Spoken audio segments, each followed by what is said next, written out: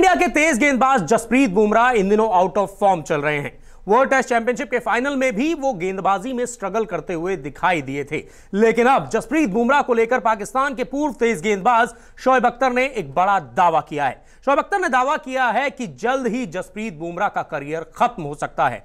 ऐसा क्यों कहा है शोएब अख्तर ने यह जानने के लिए देखिए हमारी खास रिपोर्ट। पाकिस्तान के पूर्व तेज गेंदबाज शोएब अख्तर ने भारतीय तेज गेंदबाज जसप्रीत बुमराह को लेकर अपनी चिंता ज़ाहिर की है।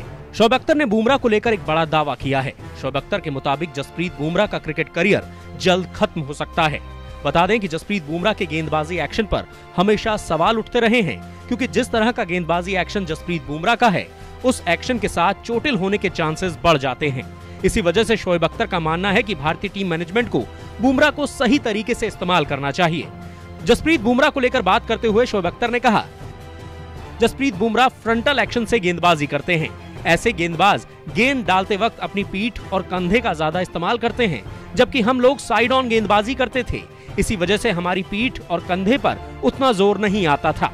फ्रंटल एक्शन के साथ आपको कोई रियायत नहीं मिलती। अगर आपकी पीठ और कमर में चोट लग गई तो आप चाहकर भी कुछ नहीं कर पाएँगे। मैंने इस एक्शन की वजह से वेस्टइंडीज के तेज गेंदबाज इयान बिशप और शेन बॉन्ड की हालत खराब होते हुए देखी है।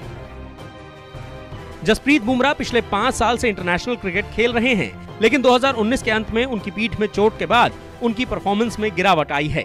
हालाँकि तेज गेंदबाज ने अपनी पीठ की सर्जरी करवाने से परहेज किया और दोबारा क्रिकेट के मैदान पर वापसी की, लेकिन वो पहले जैसे असरदार नहीं दिखे। उनका इकोनॉमी रेट भी बढ़ गया और विकेट भी पहले जितने नहीं मिल रहे। शोएब अख्तर ने कहा कि अगर टीम इंडिया बुमराह का इंटरनेशनल क्रिकेट लंबा करना चाहती है तो उन्हें हर मैच में नहीं उतारना चाहिए और उनके वर्कलोड को मैनेज करना चाहिए। शोएब अख्तर ने इसी पर आगे बात करते हुए कहा, अगर आप बुमराह को हर मैच में उतारोगे तो एक साल में वो पूरी तरह से खत्म हो जाएगा।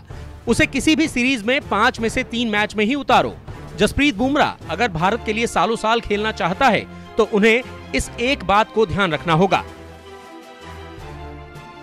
जसप्रीत बुमराह फ़िलहाल टीम इंडिया के साथ इंग्लैंड दौरे पर हैं और वो वहाँ पर 4 अगस्त से शुरू होने वाली टेस्ट सीरीज़ की तैयारियों में जुटे हैं।